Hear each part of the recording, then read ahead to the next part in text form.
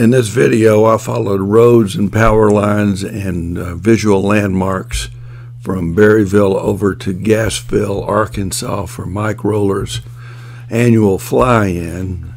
The video starts at Cotter, Arkansas, where the White River bends around Cotter, and then I move on over to Gassville and land.